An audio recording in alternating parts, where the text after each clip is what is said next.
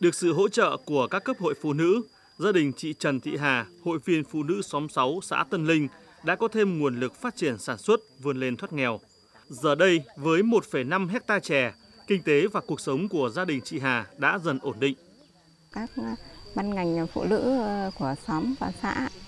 ờ, đã hỗ trợ cho gia đình vay vốn ngân hàng và tôi đã À, vay số tiền để đầu tư phát triển à, trồng chè và chế biến chè đã mua được thêm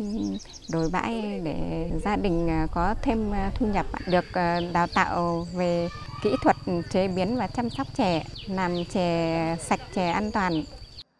Tân Linh là xã có tốc độ phát triển khá của huyện Đại Từ. Xã hiện có 160 hộ nghèo và cận nghèo, trong đó có 74 hộ là hội viên phụ nữ.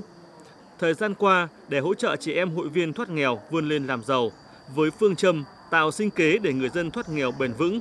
Hội Phụ nữ xã đã có nhiều hoạt động thiết thực và hiệu quả.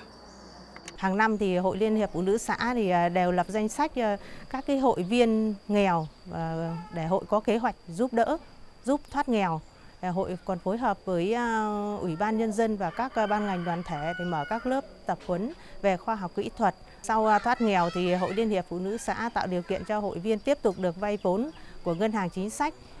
về hộ mới thoát nghèo để giúp hội viên thoát nghèo bền vững. Đã và đang phối hợp với Phòng Nông nghiệp Phát triển Nông thôn huyện ờ, thực hiện cái chương trình ờ, thành lập các cái tổ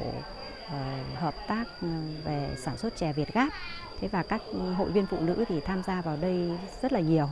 khoảng độ trên 90% thì chúng tôi sẽ tiếp tục phối hợp để duy trì và nâng cao hiệu quả hoạt động của các cái tổ hợp tác này.